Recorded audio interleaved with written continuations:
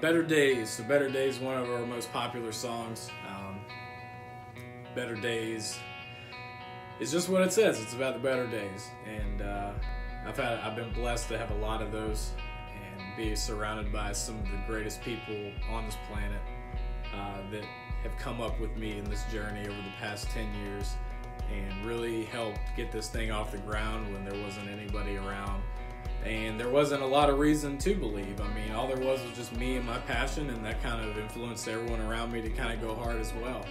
And then when everyone went away uh, a few years ago, and then it was just up to me to keep it going, I did keep it going. And uh, but it's I credit that to those people that believed in me first because I wouldn't have got this far without them.